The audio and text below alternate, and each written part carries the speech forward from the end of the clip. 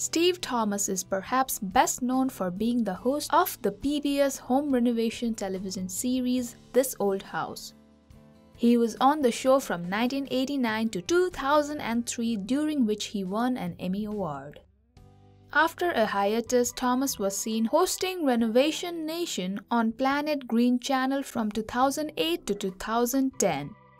Where is Steve Thomas in 2020? In this video, find out what happened to Steve Thomas from this old house.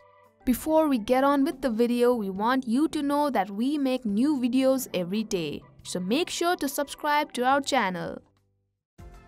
Hey everyone, welcome to Trend Street. Known as a serial renovator, Steve Thomas left this old house in 2003 after hosting the show for 14 years. After leaving PBS, Thomas began covering historical restorations on History Channel's Save Our History. He also began hosting Renovation Nation on Discovery's former Planet Green channel.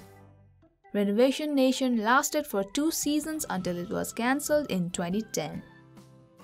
Thomas currently lives in Maine with his wife Evelyn Blum.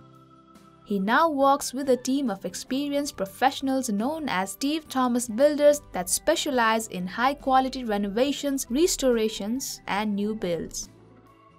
Thomas has been keeping busy with projects of his own since leaving the showbiz.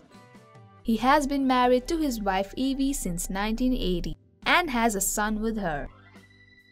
Make sure to follow Thomas on Facebook if you want to see more of him and stick around for more updates on the Emmy Award winning host. Thank you for checking this video out. Don't forget to hit that like button and subscribe to our channel for new videos every day. Turn that bell notification on if you want to hear from us and comment down below if you've subscribed and we'll make sure to reply and thank as many of you as we possibly can.